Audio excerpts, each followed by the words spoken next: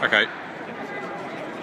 Ellen and I are standing here in front of the eight hour monument here in Melbourne with thousands of others who are turning out to bust the budget. People here know that this budget is one of the biggest threats to this country's way of life that we've seen. When some of the basic principles that we uh, take for granted in this country, like if you get sick, you're going to get good quality healthcare no matter how much you earn. Uh, if you want to go to university, you're able to no matter uh, how much you or your parents earn. And then if you fall on hard times, you'll get looked after. All of those principles are under threat from this budget. This comes from uh, Tony Abbott, who lied his way to power, who said there'd be no cuts to education, uh, health, uh, or the pensions, and it turns out that uh, promise didn't even last for a year.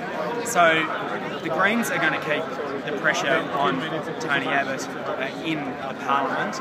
And if other parties hold their nerve and join with us, uh, we can block most of this budget most of the harsh measures. Um, the Greens will stand up to Tony Abbott, uh, and we're calling on others to do the same. Uh, and if we do that, you know, who knows? Um, if Tony Abbott can't get his budget through Parliament, maybe we'll have a new Prime Minister by Christmas. Uh, but one thing that's becoming uh, crystal clear through all of this is that the Tony Abbott budget will take the axe to the states, to the state uh, governments. It means $80 billion uh, over several years less for uh, hospitals and for schools.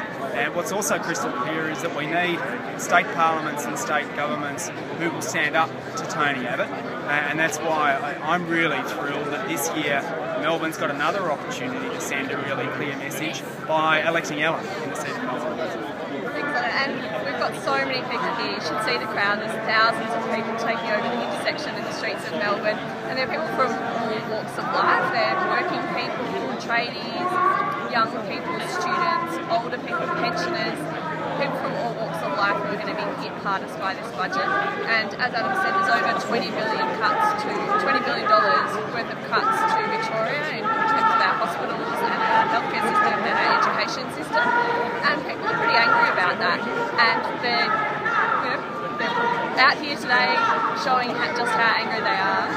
And they know that we can do something about it if we keep up the pressure, as Adam said, in federal parliament, but also getting somebody elected for the Greens in state parliament so that we can stand up to Tony Abbott.